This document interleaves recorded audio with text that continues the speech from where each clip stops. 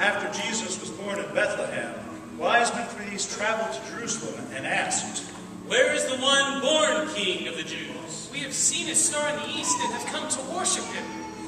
I was a seeker for light in a dark